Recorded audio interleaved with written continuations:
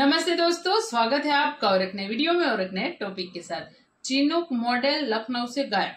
तो क्या किसी की साजिश हो सकती है? या तो चोरी किया हुआ है?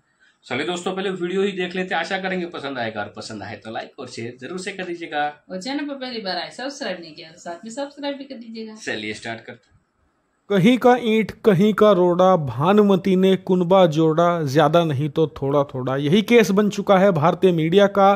कहीं की एक खबर लाते हैं, उसे कहीं से जोड़ते हैं और फिर उसका ऐसा मिक्सचर तैयार करते हैं, जिससे भारत को दुनिया भर में शर्मिंदगी झेलनी पड़ती है। इस बार भी कुछ ऐसा हुआ है, लेकिन हैरानी की बात यह है कि इस बार इन्होंने चार साल पुराना मुद्दा उठाकर भारत की छवि को खराब करने की कोशिश करी है। दरअसल पूरा मामला कुछ इस प्रकार से है कि आपको याद होगा कि सन 2020 में उत्तर प्रदेश की राजधानी लखनऊ में एक डिफेंस एक्सपो का आयोजन किया गया था, जिसमें बहुत सारी कंपनियों ने आकर अपने अपने जो प्रोडक्ट थे मतलब कि जो अपने लड़ाकू विमान थे, अपने जो चार्टर एयरक्राफ्ट थे, इसके अलावा अन्य जो हथियार वो बना रही थी, सब दुनिया के सामने प्रदर्शित किए थे। और ये डिफेंस एक्सपो बहुत ही ज़्यादा शानदार तरीके से संपन्न हुआ था और इसकी वजह से भारत को दुनिया भर में ख्याति भी मिली थी और भारत को जो डिफेंस मार्केट है उसमें एक उभरते सितारे का खिताब भी हासिल हुआ था। खैर, उस समय सब कुछ अच्छी तरीके से संपन्न हुआ, लेकिन हाल ही में अब लगभग साढ़े तीन सालों के बाद भारत के कुछ जो मीडिया सर्कल है, वहाँ पर एक खबर फैलाई जाने लगी। खबर ये कि इस डिफेंस एक्सपो में डीआरडीओ ने जो चिनूक हेलीकॉप्टर है, जिसे हमने अमेरिका से खरीदा है, जिसे कि वर्ल्ड का बेस्ट ट्रांसपोर्ट हेलीकॉप्टर कहा जाता है, ये हमने अमेरिका से खरीदा था। इसी को दुनिया के सामने प्रदर्शित करने के लिए डीआरडीओ ने इसका एक बहुत ही शानदार मॉडल तैयार किया था और ये काफ़ी महँगा भी था। बताया जा रहा है कि इस मॉडल की कीमत लगभग चौवन हज़ार डॉलर, यानी कि भारतीय रुपए में बात करें तो लगभग 50 लाख रुपए के करीब इस मॉडल की कीमत थी। इसे हमने बनाकर दुनिया के सामने रखा था कि जी हमने अमेरिका से ये खरीदा है इसे हम अपनी सेना में शामिल करेंगे।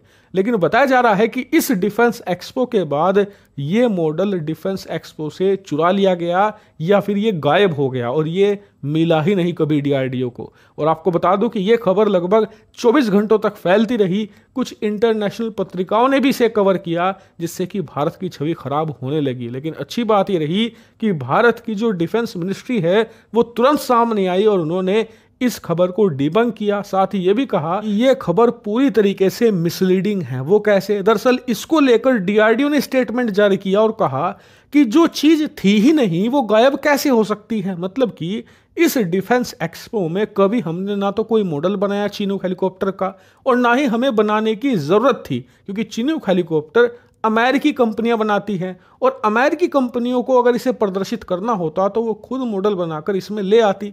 हमारा तो चीनूक हेलीकॉप्टर से दूर दूर तक कोई नाता नहीं है। ऐसे में हम इसे प्रदर्शित करते ही क्यों?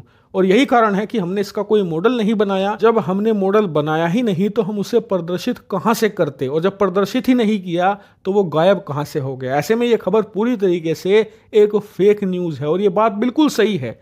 क्योंकि देखिए जो कंपनी जिस हथियार का निर्माण करती है, वो खुद मॉडल बनाती है और फिर दुनिया के सामने प्रदर्शित करती है। आप खुद सोचिए कि आप एक कंपनी के मालिक हैं। आपकी जो राइवल कंपनी है, वो कोई हथियार बना रही है।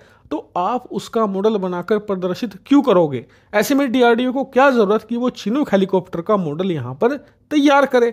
इसीलिए ये खबर पूरी तरीके से सेंसलेस है फेक है और इस पर जाँच बैठानी चाहिए कि किस मीडिया पत्रिका ने इस फेक न्यूज़ को फैलाकर भारत की छवि खराब करने की कोशिश कर। थैंक दोस्तों वीडियो को यहाँ तक देखने के लिए कई सारे मीडिया ऐसी है। जो पार्टी का विरोध करते लाइक बीजेपी का विरोध करती है और उसी चलो कोई दिक्कत नहीं भाई ये तो लोकतांत्रिक देश है विरोध करना ये सबका हम्म। अधिकार है अच्छी इसमें कोई दो राय नहीं है लेकिन उस विरोध के साथ साथ कहीं ऐसा विरोध पे निकल जाती है जहाँ पे देश की बात आ जाती हाँ, है देश की छवि खराब देखो एक बात ये होती है हम भी एक यूट्यूब चैनल चलाते हैं जो आप हमारे चैनल देख रहे हो तो उसका मतलब ये नहीं है कि भाई हम हमारे फ़ायदे के लिए हम देश को ही दाव पे लगा दें हम्म। ठीक है कुछ व्यू पाने के लिए या तो टीआरपी पाने के लिए उस टीवी चैनल में तो टीआरपी होती है। हम्म। और इसमें तो हम व्यू ही बोलते हैं यूट्यूब में तो। तो कुछ टीआरपी पाने के लिए आप कुछ भी बोलते हो भाई। देखो ये होता है। कई सारे आपने देखा होगा कि टीआरपी के लिए न्यूज़ को इतना मसोड़ दिया जाता है इतना उसमें वो क्या बोलते हैं मसाला मसाला, डालते हैं। लोग कि ऐसा लगता है कि भाई कितना बड़ा हंगामा हो गया तो कितनी बड़ी बात हो गई। ये वाला सीन हो गया। लेकिन हर हर बार की तरह इस बात भी मैंने ज़रूर कहूँगा आपको कुछ भी टॉपिक हो कोई भी न्यूज़ हो तो थोड़ी बहुत रिसर्च दोस्तों हम्म। हमें खुद को कर लेनी चाहिए। कई सारे लोग होता है न्यूज़ देख लिए या कई सारे पोस्ट पढ़ ली या कोई फ़ोटो वगैरह देख ली तुरंत ट्विटर पे चले जाते हैं फेसबुक पे चले जाते हैं कुछ भी। बना देते हैं हाँ मतलब जो लोग फ्री बैठे हैं कुछ।